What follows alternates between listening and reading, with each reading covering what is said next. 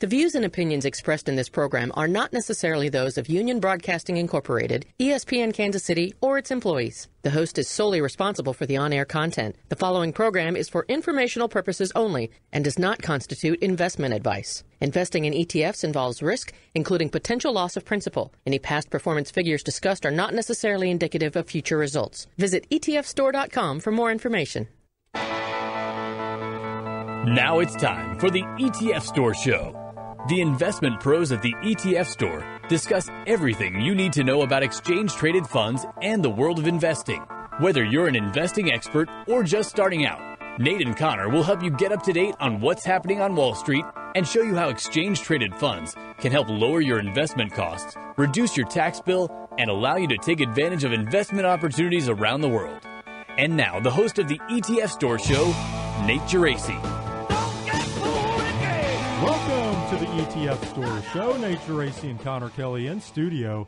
As always, we are so glad to have you joining us. We have an excellent show lined up today. A segment of the ETF market that continues to grow in popularity is socially responsible ETFs. Uh, these are also referred to as ESG ETFs or sustainable ETFs. I think ESG is probably the most popular term. That stands for environmental, social, and governance. These are factors used to measure how positively companies are impacting society. And the general idea here is that as an investor, you may want to avoid companies involved in things like nuclear power or gambling or firearms or tobacco. Or you may want to stay away from companies with poor track records on diversity or gender uh, equality. Uh, there are any number of different criteria that can be used. But the bottom line is you want to invest in a way that you feel is contributing positively. Now, in some cases, you may be doing so because you simply believe it's the right thing to do. And in other cases, maybe you think there are just better returns to be had by investing in a socially responsible uh, manner, or it could be the combination of the two. We have two great guests set to join us on the program today to discuss this topic. Dave Nadig, CEO of ETF.com, will join us in about 20 minutes. We'll get his take on ESG investing. Uh, and also, just last week, ETF.com rolled out a new tool to help you screen ETFs based on ESG criteria. So, we're going to visit about that as well. And then later in the program, Bill Sokol, ETF product manager at VanEck, is going to spotlight the VanEck Vectors Green Bond ETF and offer his perspective on socially responsible investing. Uh, you know, Conor, last week we talked about the growing interest we're hearing from clients around thematic ETFs. So ETFs that invest in evolving trends, things like robotics and cybersecurity and social media. Well, ESG is another area where there's clearly a developing interest among investors. And in many regards, ESG can also be thought of uh, as a theme. It just happens to be much broader. There are certainly similarities with thematic ETFs in that they are looking to capture longer term trends that are playing out, whether that's you know, demographics in a particular country or advances in technology or medicine. And you can argue that ESG investing is a long term trend, especially among younger investors, but this obviously feels broader. You know, people want to invest in companies that make them money, but also make them feel good about owning those companies. You know, whereas perhaps, you know, a robo or a hack or another thematic ETF we discussed on last week's show might make up a small uh, sliver of your portfolio. More and more investors want ESG to encompass their entire portfolio. And we're, we're not at that point yet where a viable ESG option is available to investors, you know, for every major asset class, but we're certainly getting there. And in fact, you mentioned it, you know, in a, just a second ago, we're going to dig into an ESG bond fund later in the program. Um, uh, so the ESG focused ETFs are certainly an area where we expect huge growth over the next several years. Yeah, there's no doubt. The bottom line is ESG investing is only going to continue to grow in interest. Eh, you know, I think about the media frenzy surrounding President Trump's decision to withdraw from the Paris Climate Agreement a few weeks ago. And with our usual caveat that we always try to avoid talking politics on the show, the fact is, a number of very prominent CEOs and business owners were very vocal about the fact that they intend to pursue business practices that align with the spirit uh, of the Paris Climate Agreement. Uh, they came out pretty strong in disagreement with Trump. And I, I think a part of that is these companies realize that being a good steward of the environment probably makes good business sense moving forward. And more people want and expect that now. Uh, I, I think, regardless of what the government does, businesses realize that sustainability is an issue people care about, whether we're talking about uh, the environment, diversity, executive pay, whatever the case may be. And just to provide a little bit more color on Trump's decision to leave the Paris Agreement, Exxon, the largest oil company in the United States, actually came out against leaving the agreement. Uh, Exxon actually sent a letter to the Trump White House a few days before uh, the administration made the decision public to leave the Paris Agreement. And they stated that the Paris Agreement was, quote, an effective framework for addressing the risks of climate change, and that the U.S. was, quote, well positioned to compete under the terms of the deal. So, I mean, think about that. We all expect, you know, the Teslas and other clean energy companies to support something like the Paris Agreement, but when Exxon is supporting the agreement as well, I think that tells you about not only the growing expectations of investors and what they're demanding of the of the companies that they own, but even internally in these companies themselves, that people feel the pressure to to be better stewards, like you mentioned, it, with Exxon obviously more on the environmental side of, of, of the ledger. Um, look, the Paris Climate Accord is just one recent example. I mean, look at the other uh, company making maybe the most headlines for the worst reasons is Mylan right? The company behind EpiPens. And EpiPens are truly a life saving product for those people with serious allergies. And the uproar about not only the massive price increases that Mylan has put on this product, but also the executive pay issues around the company. And, and, people are mad. I mean, last year in 2016, the chairman of Mylan made $100 million in one year alone and investors are upset. They want the board thrown out, they want the CEO fired, and you know, when you have a device that saves lives, especially the lives of children, where allergies, you know, uh, severe allergic reactions are most common, and a company puts profits in front of saving lives, you know, that's an issue. So, you know, this is just another recent example of an issue that investors are caring more and more about. You know, corporate governance and, and exorbitant executive pay. And ESG investors want the companies that they own to not only do what's profitable, but to also do what's right. And it's becoming clear that these issues are becoming more and more important to you know a larger swath of the investor community out there. Well, and I'll offer even another recent example. Think about Uber even though they're a privately held company, some of the issues that they've had there uh, regarding sexual harassment and, and gender equality, uh, y- you know, these are real issues. And uh, sort of wading back into the political side of this, I do think it can be extremely difficult at times to remove politics from these issues. I, I think people have very passionate views on uh, both sides of these debates, and I, I think there can also be some stereotyping around who supports these different initiatives but I guess the way I would attempt to remove politics uh, is by framing it this way. If you think about a business that is really trying to do the right thing, right? They're, they're trying to run more energy efficient operations or make sure their employees are treated equally uh, or keep executive pay in check. I think you can make a very intelligent case that those companies are going to perform better over the long term. And, and think about it, they'll be less prone to lawsuits. Uh, maybe they don't get sued for some sort of environmental issue or uh, get sued by employees. Uh, I would think happier employees don't sue as often as unhappy uh, employees. And as another benefit, happy employees are also probably more motivated and, and more productive employees. Uh, from a cost perspective, companies focusing on things like not overpaying executives and having strong internal controls and good accounting practices, I would think they're run much more cost effectively. So if you just think about this at a high level, it would seem like over time these companies would be more successful. Now, from an investment standpoint, there have been some studies on this, and I've seen data that does suggest there is evidence of higher risk adjusted returns from companies with higher ESG scores. But I've also seen other studies that are inconclusive, and, and we'll talk about one of those studies here in a moment.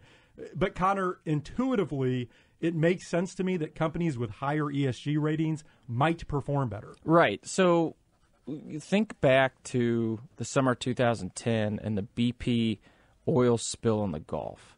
That was a unmitigated disaster from not only an envir- environmental standpoint, but from being a, a, potential investor in BP and what that did to that company. I mean, that in the aftermath of that oil spill, their stock price was immediately cut in price, cut in half in value. The company was cut in half immediately, and their stock price still hasn't recovered. It's still actually trading a couple of dollars lower than its price pre the oil spill back in 2010.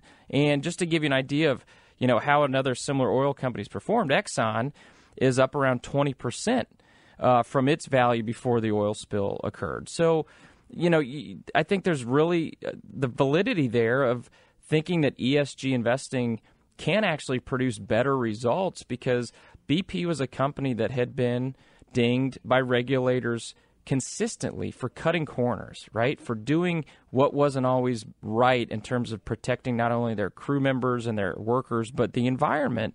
And look what happened as a result of them cutting those corners in this disaster that, frankly, that company will likely never recover from here in the U.S. Well, I mentioned there have been some studies on the performance of companies scoring higher in ESG factors. As it turns out, CNBC actually released a great piece on this topic just last Friday. They conducted their own study on the performance of ESG funds versus traditional funds, and they used uh, Morningstar data. What they found was there there was basically no difference in performance between ESG funds and traditional funds uh, with one caveat being that funds excluding sin stocks, so things like tobacco, firearms, alcohol, they actually didn't perform quite as well. And, and then CNBC also referenced another study where they found, uh, quote, the adoption of ESG standards does not generate notable costs or benefits for an investor with a global perspective. But they also had a quote from Morningstar's head of sustainability research. Uh, he said, quote, the weight of academic research on the performance of sustainable slash responsible portfolios suggests that there is no performance penalty. So, so, so let me back up here. What, what, this says is perhaps the jury is still out on ESG uh, investing from a performance perspective. But I, I guess one way you might look at this is if there's no performance penalty or drag, but you can invest in companies that are doing the right thing boy, that seems like a win. Right. And when you look at you know what was maybe previously called socially responsible investing over the past several decades, there was kind of a mentality of nice guys finish last. I mean, you were pretty much knowingly going into you know a socially responsible fund with the expectation you might not earn as much um, in a fund like that. But that that has changed, right? In the in the growth in the ESG space is has been phenomenal, and you know although the mentality right now isn't necessarily nice guys finish last. It's maybe they finish in the crowd. Look, there's a, certainly a cost of doing things the right way. And on the other side of the ledger, companies that are cutting corners maybe don't have those costs. And, and certainly sometimes they do get ahead, at least in the short term. And, you know, that's maybe why the data is, is inconclusive as, at this point. But the thesis that ESG focused funds – will perform better over the long haul hasn't been proven definitively, right? But like you said earlier, Nate, intuitively, it does make some sense. I mean, companies that have happier, more productive workforces, reduced exposure to, to lawsuits or bad publicity, you know, due to unsavory actions. I mean, this makes a lot of sense to investors, but you know, we haven't seen it proven in the numbers at this point. But with all that being said, you know, there was a quote in that CNBC article you, you referenced regarding ESG funds, and the, the, the article said this quote, in the past, these portfolios haven't fully reflected the idea that it does improve an individual company's bottom line. But the ability to identify these things really only became sophisticated recently. The process of collecting and understanding information on company performance on ESG has definitely entered the realm of big data. Going forward, it may be more likely to result in outperformance. End quote. So the point here is with you know the revolution in big data and, and the amount of information that can be processed very easily by computers, this is going to get easier to track and more accurate to track. So, you know, this is this could be a real performance factor moving forward, but at the end of the day where we stand today, ESG still does come down to your own personal beliefs. It's not a proven way to get outperformance yet. All right, we need to take a break here, uh, but as it relates specifically to ESG ETFs, as we mentioned earlier, uh, this is no doubt a growing subset of the ETF universe. Uh, currently, ETF.com lists 53 socially responsible ETFs. These cover a broad range of categories. Uh, for example, you'll find the iShares Low Carbon Target ETF, ticker symbol CRBN, the SPDR Gender Diversity ETF, ticker SCHE, and then even the Global X S&P 500 Catholic Values ETF, ticker CATH. And I should mention an ETF we'll be spotlighting later in the program is also on this list, the VanEck Vectors Green Bond ETF, GRNB. But Conor, as we'll talk about with ETF.com's Dave Nadig uh, here in just a moment, you can also now screen any ETF at ETF.com, regardless of whether it pursues a specific uh, ESG theme, and you can evaluate how well the underlying holdings rate on different ESG metrics. And I, I think what will be interesting to watch moving forward is how uh, transparency like this might impact where investors place their dollars. Because there's no doubt ESG specific ETFs will continue to grow in popularity. But now that this ESG data is being made more available for all ETFs, you wonder if it will change investor behavior just in terms of uh, asset flows. You're right. It's pretty interesting development here because I do think the ESG specific ETFs will continue to grow. But the underlying transparency of ETFs as a whole, I think, could drive further use of ETFs that might not be purely ESG focused, but do rank higher than their peers in some of these ESG factors. And, you know, think about the massive migration of investors away from high cost mutual funds to, to low cost ETFs. I mean, the primary force behind this was transparency. It's so easy to hop online now and immediately see what your investments cost you. And that wasn't the case 10 years ago. It took a lot of work to find out what you were paying in fees before all this was so easily found online. And I think a similar trend could happen with ESG rankings. I mean, again, because ETF holdings are disclosed on a daily basis, you know exactly what you own. And with tools like what ETF.com just launched, you know, allowing you to screen any ETF for ESG rankings, I think something similar could happen with investors migrating towards ESG investments. You know, perhaps not a pure ESG focused fund. But, you know, for instance, you look at two U.S. small cap ETFs and one has a higher ESG score than another similar one. I can see investors, you know, using that as one of their final decision points in deciding where they put their money. And I think that scenario is pretty likely, in my opinion, with some of the tools that are being launched, you know, just like the one that we're going to dig into here in a moment with Dave. So, look, I mean, as a whole, I think we're going to continue to hear more and more about ESG investing as it becomes more mainstream, Nate. And I think it's certainly going to be a topic that we're going to continually revisit on the show. All right, well, let's take a break here. And when we come back, we'll be joined by Dave Nadig, CEO of ETF.com. We'll continue our discussion on ESG investing. And then later, VanEck's Bill Sokol will spotlight the VanEck Vectors Green Bond ETF. You're listening to the ETF Store Show.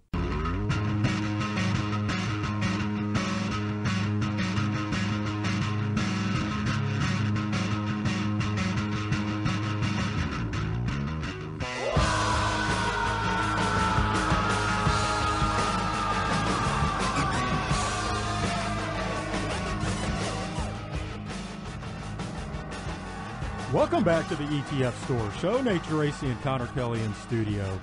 The focus of our show today is on socially responsible investing, and I'm now pleased to welcome to the program Dave Nadig, CEO of ETF.com. Of course, ETF.com is one of the world's leading authorities on ETFs, and just last week they rolled out a new feature where investors can now access MSCI's ESG ratings data. So you can now peer into uh, any ETF and see how it stacks up from a socially responsible investing standpoint.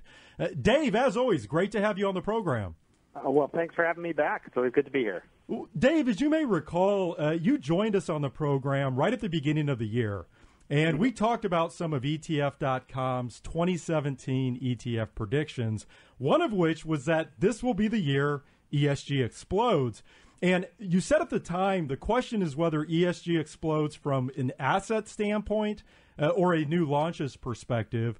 Uh, obviously, we're now uh, about six months into the year. I'm curious, how does this prediction look so far? And is there anything that surprised you, whether positively or negatively? Um, well, you know, the we haven't seen assets explode. Uh, that might be a bit of an exaggeration. We do have, uh, you know, a dozen funds or so now that are hovering around a billion dollars, which is certainly enough money to start taking it seriously. We've definitely seen a lot of product launches, though. We've had whole new players come in. Nuveen came in with a, a seven product suite of uh, ESG funds covering pretty much the full spectrum, small cap, emerging markets, everything in the middle. Um, we've seen Oppenheimer come out with their uh, ESG revenue ETF. We've seen a variety of sort of smaller entrants in the space, and we've seen, uh, you know, some of the bigger players, uh, you know, weighed in as well. Whether it's things like uh, VanEck Green Bond ETF. So we've we've had maybe uh, over the past 12 months, maybe 20 or so uh, product launches, and most of them are doing quite well. Dave, as you look at the growing interest overall in ESG, what are some of the key drivers here? Why is this becoming a, a bigger focus, uh, both from the fund company uh, standpoint, but also uh, from investor demand? Well, you know, we're in the midst of this $30 trillion uh, hand down of, of wealth going on in this country from the baby boom generation to their children. Uh, I think sometimes mischaracterized as, as sort of a millennial boom, but it's not, it's not a bunch of 22 year olds in their basement collecting million dollar checks. This is the the 40 year old woman who starts going to the financial advisor meeting with her 70 year old parents, for instance, uh, and now they're starting to talk about estate planning and and handing down uh, the accumulated wealth of of a family to a, a new generation. Uh, and over the next 20 years or so, there's about 30 trillion dollars in investable assets that's going to roll down through that process. And that generation, the people who are now in their 40s, um, express in surveys and with their dollars that they want their money to not just earn something, they want their money to do something. Uh, and so this generational shift really, I think, is behind this. Because it's a generational shift, it's not like it's going to be $30 trillion on one day, right? This is going to be a investment for the long term for these issuers. So they want to get out early. They want to develop track record. They want to be there for when those conversations start happening. Dave, when it comes to ESG investing, obviously some investors simply want to do the right thing with their money, right? They want to invest in companies they believe are pursuing the right values uh, ethically. But I think other investors believe companies with higher ESG ratings might produce uh, higher returns. Conor and I uh, actually mentioned a study earlier from CNBC, which uh, I would say was largely inconclusive as it relates to performance. Yeah. Uh, but but I'm curious, have you seen any data out there regarding performance uh, on companies rating high in ESG factors? And should performance be a reason to invest in ESG focused ETFs? Yeah, there's a lot of research going on right now about whether uh, whether you know ESG factors are factors in the sense that small cap or momentum are factors, and therefore can you build some sort of black box smart beta portfolio that includes those factors and and magically gets you risk adjusted outperformance. You know, I don't think there's a free lunch anywhere in the factor and smart beta investing space. The research that I've seen that I, I believe most suggests that they're really different kinds of ESG factors. ESG is a big umbrella. We're talking about everything from people who are investing based on their religious values to clean energy. And that's a very broad swath of things to put under one umbrella. Uh, there is evidence and there's product out there that suggests when you focus on the governance issues, whether that's diversity uh, on boards, whether that's, uh, you know, labor policies, whether that's uh, you know, how they deal with activists. When you focus on those governance issues, there is evidence that that firms that rate highly on good governance practices do outperform. Uh, we have a, we have a great example in the market right now, EQLT, which is the workplace equality portfolio. Um, that's really a global equity portfolio that focuses on representation of uh, and, and policies around LGBT uh, workers in the workplace, and that fund has managed to beat ACWI uh, pretty handily for the last uh, for the last year. Uh, it's not it hasn't been out for all that long, um, but that fund is eking out that performance. It's up three percent something over the S and P over the last year. We've seen the same thing with the gender diversity ETF. So there's there is alpha to be had there. You just have to be careful which one you're picking. Our guest today is Dave Nadig, CEO of ETF.com. Uh, Dave, ETF.com recently rolled out a new feature where investors can now easily access MSCI's ESG ratings data uh, for a number of ETFs.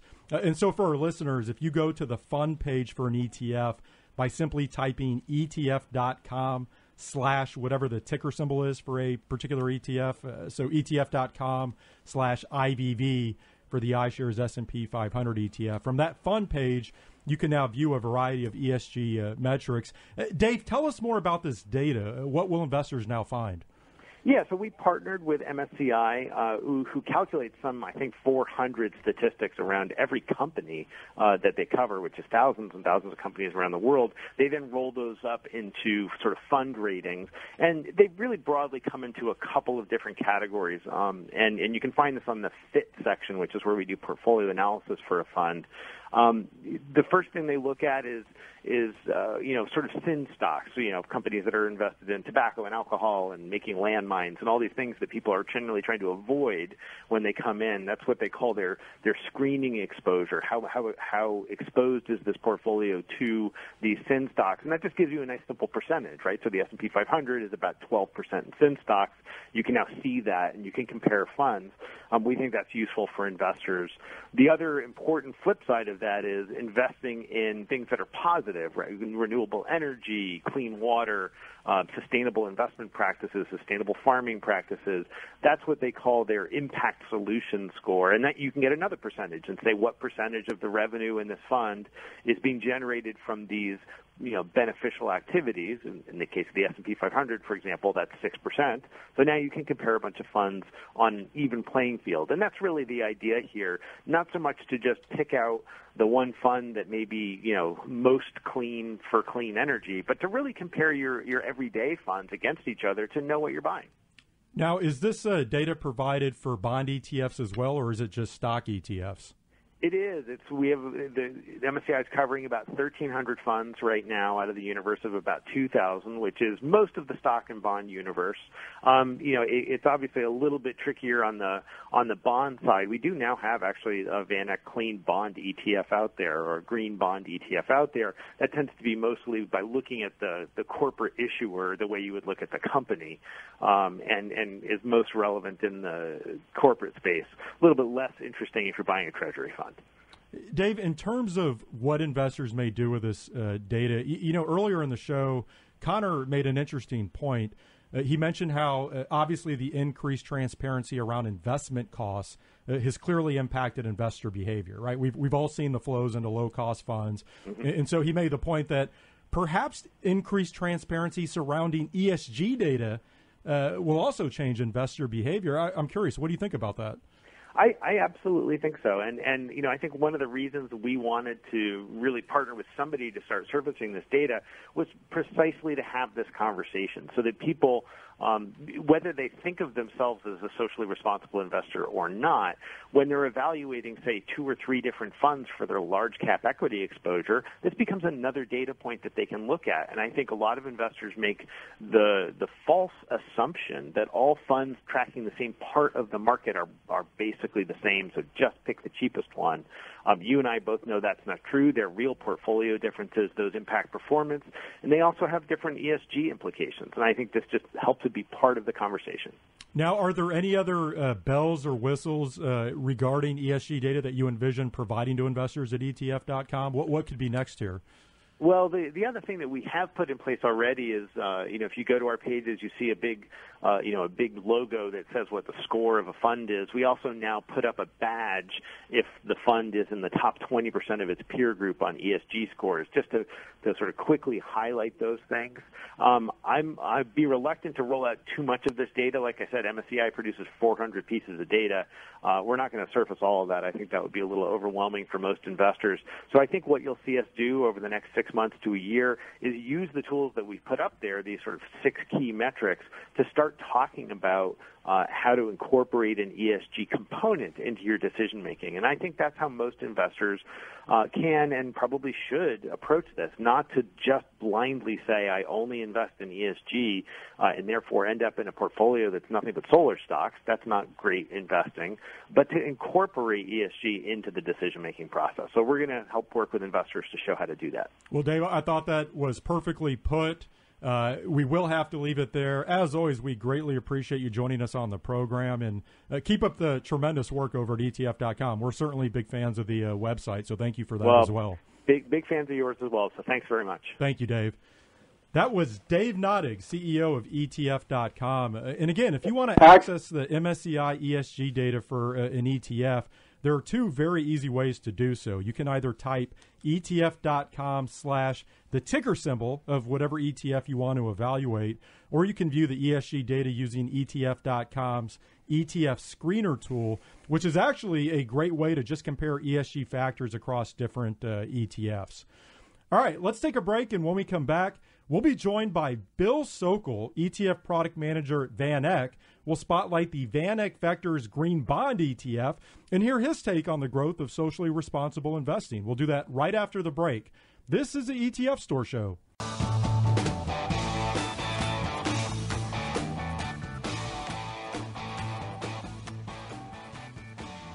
Welcome back to the ETF Store Show. Nate Geraci and Conor Kelly in studio. Now it's time for our ETF Spotlight. It's time for the ETF Spotlight, where each week the ETF Store highlights one exchange traded fund. There are over 2,000 ETFs available for you to choose from. The ETF Store sorts through and investigates them all so you don't have to. The ETF we're spotlighting this week is the VanEck Vectors Green Bond ETF, ticker symbol GRNB. This is the first U.S. listed fixed income ETF offering exposure to the green bond category. And joining us via phone from New York to discuss this ETF is Bill Sokol, ETF product manager at VanEck. Bill, a pleasure to have you on the program today. Uh, thanks, Nate. Great to be here.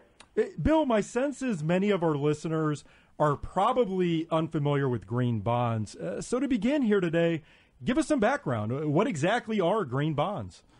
Sure. Yeah. No, uh, it's a great place to start. So. Um, you know, a green bond is is really like any other bond, uh, but the difference is that the proceeds are used only to finance projects that have a positive environmental impact. Uh, so those projects could be things like renewable energy, uh, so, so, solar and wind uh, projects. It could be energy efficient buildings. It can be mass transit. Um, also, interestingly, it can be projects that maybe a city or state undertakes to uh, to build resilience to climate change, so to, to adapt to the changes that are already happening. Uh, but the focus is really on disclosure and transparency. It's, a green bond is not a new type of debt instrument. Um, it's just about disclosure. It's about uh, ring fencing of the proceeds and, and then ongoing reporting. And um, you know, I think it's important to note. So, in, in the vast majority of cases, these are really just plain vanilla bonds that are backed by the full balance sheet of an issuer. So, so a company like Apple, for instance, has issued green bonds, but from a fundamental risk and return perspective, all else the same. There's no difference between a green bond and let's call it a non-green bond, except for this additional disclosure that you get with the green bonds. Yeah, and can you talk a little bit more about that in terms of you know who determines whether a bond is green or not? Because it certainly seems like there could be some subjectivity here. There can be. So, so in the one sense, you know, a green bond is is is really defined, uh, or at least you know the market defines it right now as a bond who who uses the proceeds that go to an environmentally friendly project and it makes the required disclosures, and that's what's called a green label um, so, so if an issuer believes that they're they're you know financing environmentally friendly projects and they provide this information to to investors, they can self-declare the bond as green.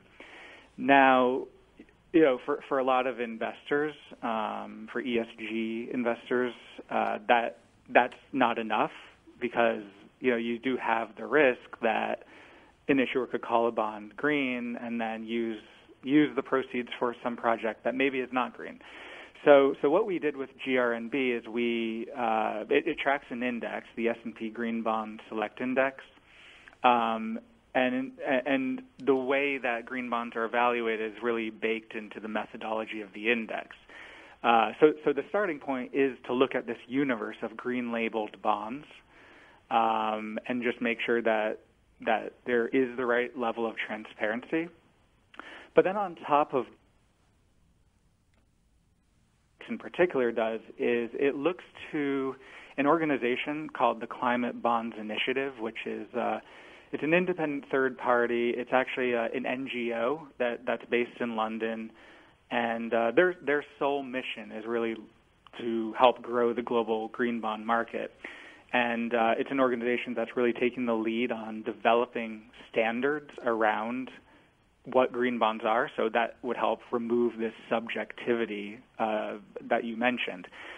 So, so what they do is uh, they they've built a classification system that includes projects which which are considered to be green based on uh, their research base and, and, scientific framework that uh, that they develop with uh, climate experts around the world.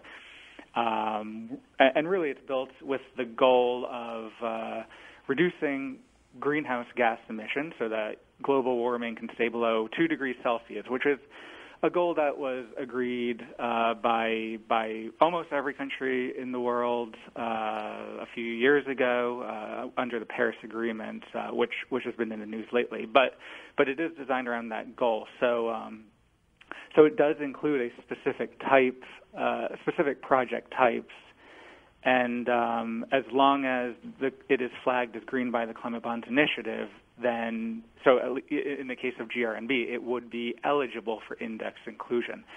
So it really provides that integrity that I think ESG investors want and really need to be confident that that their green bonds uh, really are having the environmental impact that they're looking for Bill, I'm curious. Uh, overall, how big is the green bond market?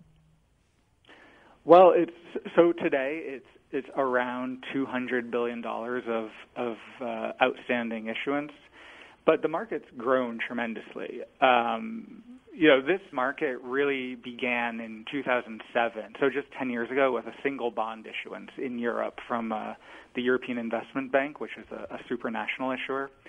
So from that single bond in 2007, what what we have seen is really exponential growth over the last few years, uh, since 2013 in particular. Uh, just to give you an idea, so last year in 2016 there was over 80 billion dollars of issuance, uh, which d- doubled the size of the market. Uh, so so now we're at about 200 billion dollars. Uh, expectations this year are from anywhere from probably 120 to 150 billion dollars of additional issuance.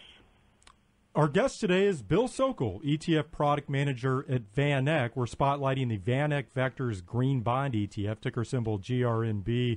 Uh, Bill, you started to talk about the construction of GRNB. I'd love to hear some more detail, just in terms of number of holdings, if there's any uh, weighting caps, anything else noteworthy about the underlying construction of this ETF.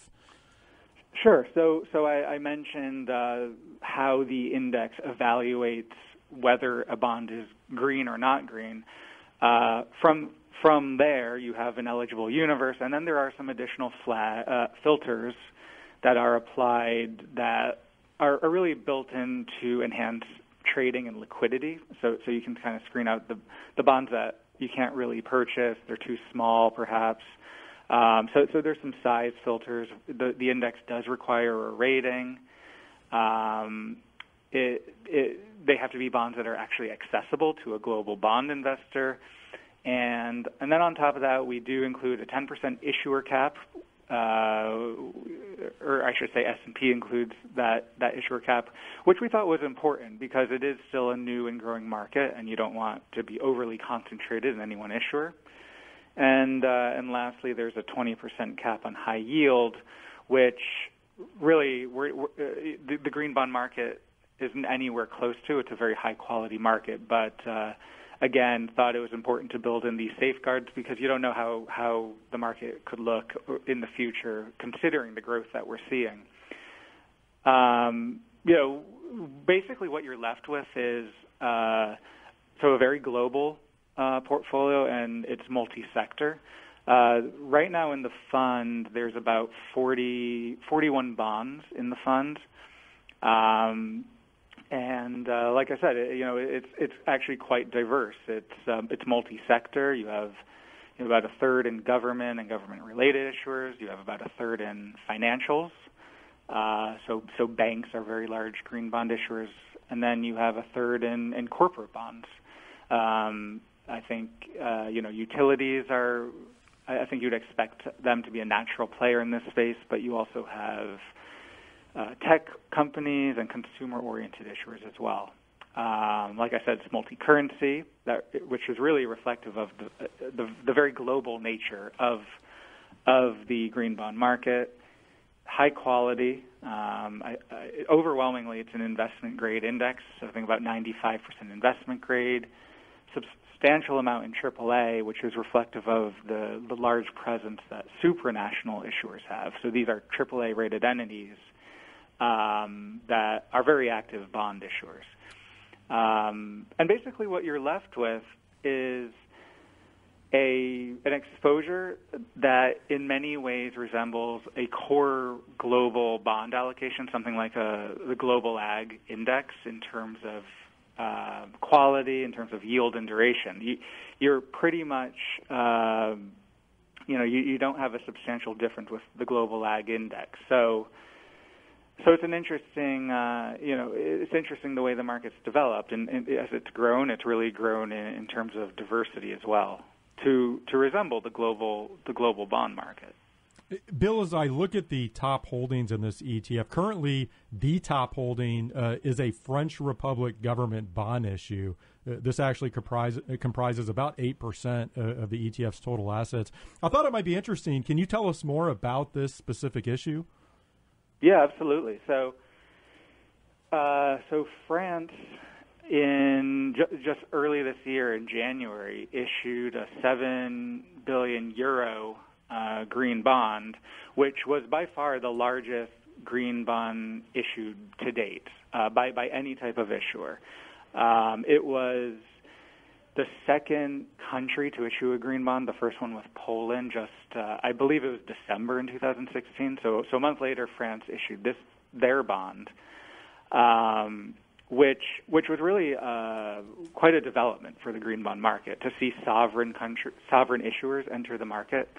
Um, so, so that was a very successful issuance. So, seven billion euros. They actually just upsized that and did another one and I believe 1.4 billion euros uh, within the last two weeks.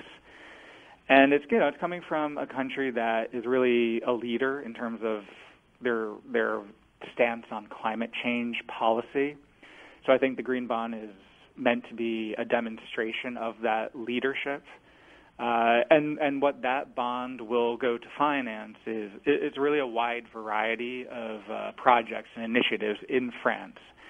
So they've outlined climate change adaptation and mitigation projects, so quite a wide variety, um, but also some projects around preservation of uh, of uh, ecosystems and, and, also pollution control. We're visiting with Bill Sokol, ETF product manager at VanEck.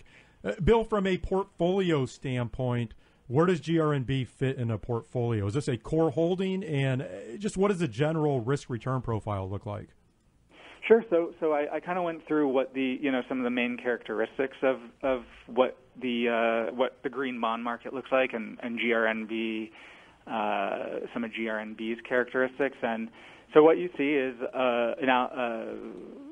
Something very similar in many ways to a, a global aggregate uh, core bond exposure. So, so, you know, from a portfolio construction perspective, it, you can have a pretty seamless allocation within that core global allocation without impacting your risk return profile. Um, on, from another perspective, you know, if you're maybe you have a more U.S. centric portfolio, uh, it would give you the diversification that you get with global bond investing from exposure to to other countries, other types of issuers, and other currencies as well. So, so we see it, we do see it as part of a core allocation, uh, whether it is uh, coming out of a, maybe a, a, global bond portfolio or diversifying your U.S. exposure. Um, you know, I think there's a, another interesting element with green bonds uh, from a portfolio construction perspective, which is as a risk diversifier, because and, and I'm not talking your traditional, you know, interest rate risk, um, credit risk.